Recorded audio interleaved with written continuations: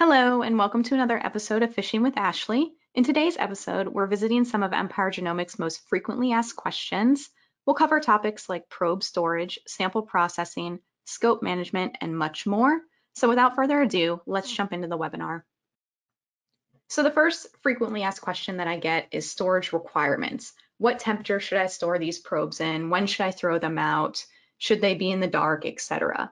So we recommend that you store the Empire Genomics probes at negative 20 degrees Celsius. You want to avoid light as Empire Genomics probes, as well as most fluorescent probes, are light sensitive and can photo bleach. So you should not be exposing these probes to excessive light. And then the expiration date is always going to be noted on the product label, and you can see that in the image, and it's on the probe. Once it reaches expiration, you don't need to rinse out the probe down the sink or anything special. Just throw them in the trash with whatever is left in the vial. Uh, a lot of people think they need to rinse it out in the sink, and this is actually not recommended. Just throw it directly in your normal trash can.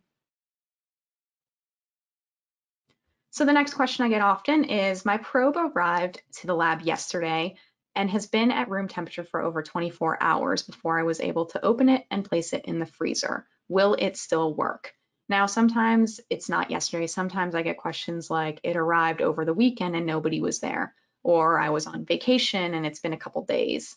Um, sometimes when the probes get sent to Europe, they take more than 24 hours to arrive and they're at room temperature for a little bit longer. Is the probe still going to work? Well, the answer is yes. Empire Genomics has done stability studies that show our probes remain stable over the course of weeks when left at room temperature and shielded from light of course, you want to make sure that these probes were still in the package and shielded from light, or if you've already opened the probe and you left it out overnight after using it, if this probe was in a dark environment, it sh still should be perfectly good to use. So of course it is ideal to open the package immediately and store the probe or probes in the dark at negative 20 degrees Celsius as soon as possible. But like I said, if the probe was left out for a few days or up to weeks, it should still work as long as it was shielded from light so that it doesn't photo bleach and cause issues with the probes.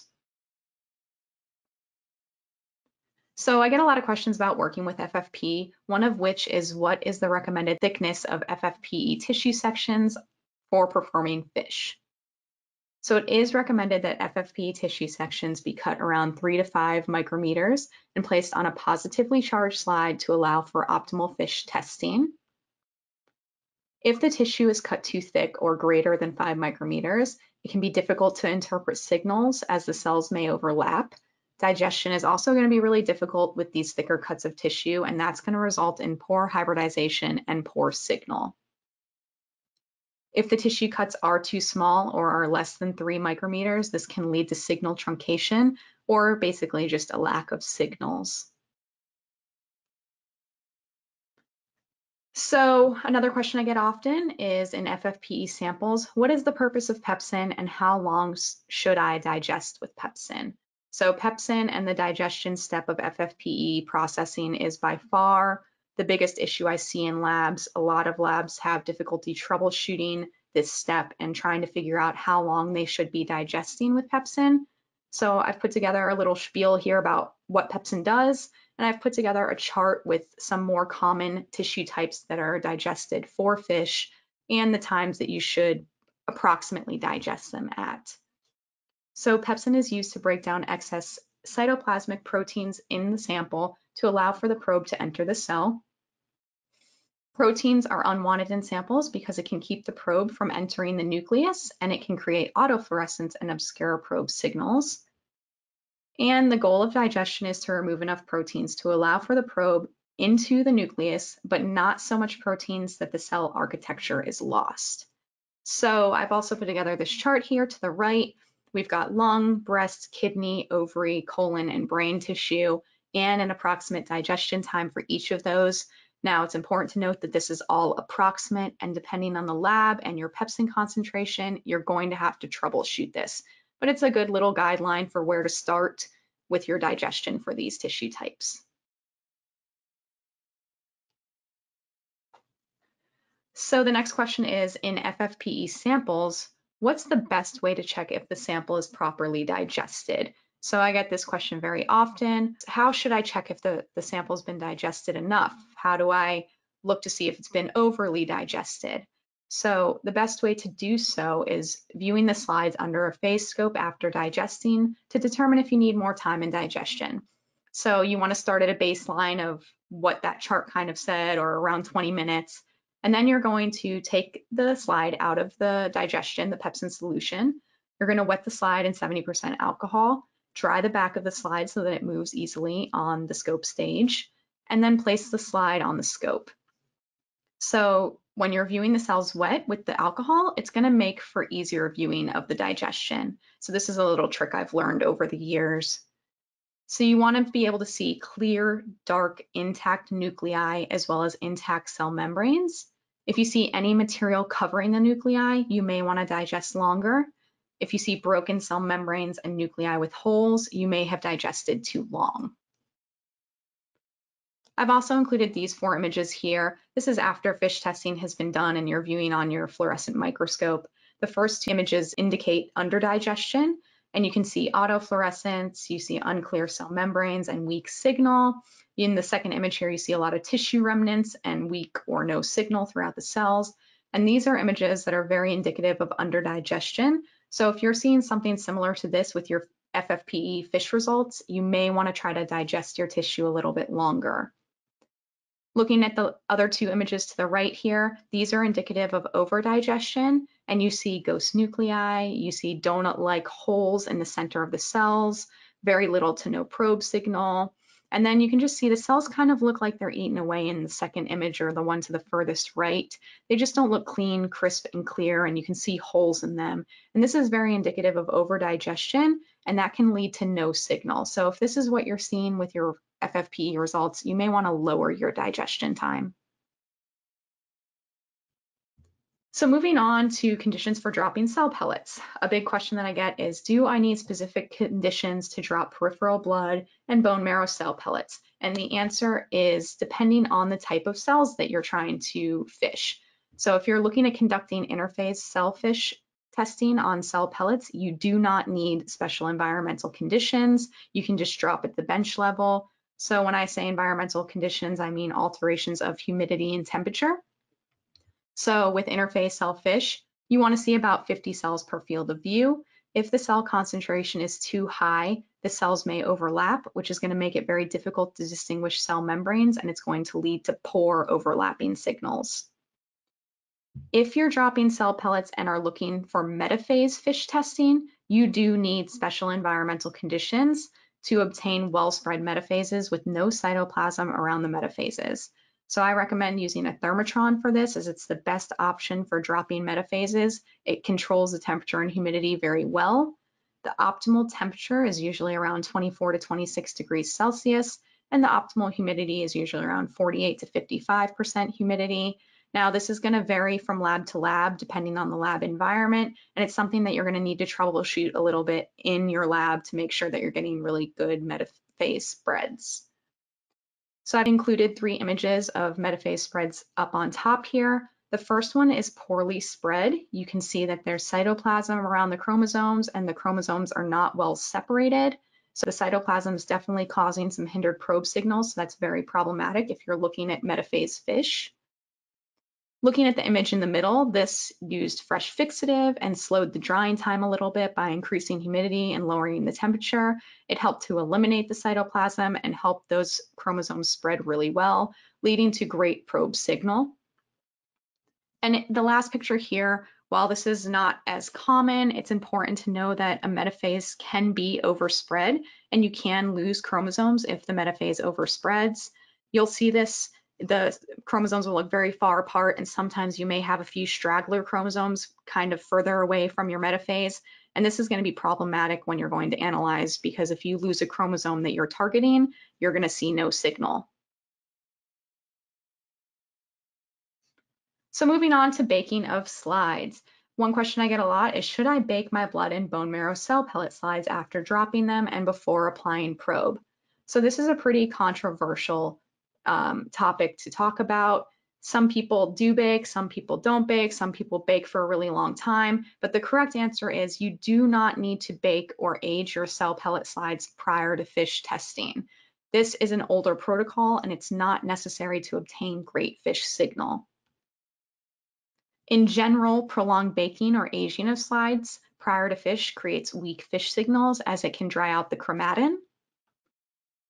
However, if you do wish to bake or your protocol already calls for a bake and that's just what your techs are used to, do so at a short high temperature. The short high temperature bakes prior to fish have been shown to condense chromatin and condense scattered signals. So if you're seeing a scattered probe signal, a short hot bake might be beneficial for your protocol. So if you do bake, keep it short and hot. Keep it between 90 and 95 degrees Celsius for about 5 to 10 minutes, and that is plenty of time. So we're going to look at probe to buffer ratio now, and I have three images off to the left with different ratios of probe to buffer. And a question I get often is, what is the probe to buffer ratio I should use? And is it safe to use more or less probe if I want to? So the top image there utilized a protocol with one microliter of probe and nine microliters of buffer. And you can see that there's not a great signal throughout and signal's very weak. So this is pretty indicative of what's gonna happen if you try to save money and use less probe. I have had labs, they were just trying to get more tests out of the tube or the vial of probe and they used one microliter for their testing and they're getting poor signal. And the reason is that they're not using enough probe. The middle image there utilized a protocol with double the amount of probe and six microliters of buffer. So you can see that there's a lot of background within and outside of the cell, which is very problematic for analyzing. And it's also come, becomes a question of, am I seeing cross-hib or am I seeing background? It can be very confusing for technologists. So using more probe can be dangerous in that it's gonna make background within and outside of the cell that's gonna make it very difficult to analyze. A lot of labs think that using extra probes just going to make the signal brighter. Maybe they're seeing weak signal and they want to double up the probes to make the signal brighter. But I always like to say if you're using the right processing protocol and you're processing your cells properly, you should never have to use extra probe to brighten the signals. Finally, the image on the bottom utilized the proper protocol with the recommended 2 microliters of probe mixed with 8 microliters of buffer and as you can see, you have really bright, beautiful signals in all of the cells and in that metaphase. So denaturation temperature. Can I use a denaturation temperature that's different than that of Empire Genomics protocol?